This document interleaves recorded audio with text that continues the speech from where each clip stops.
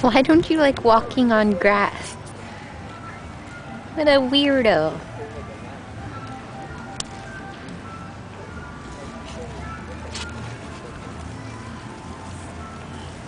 Ah, pavement.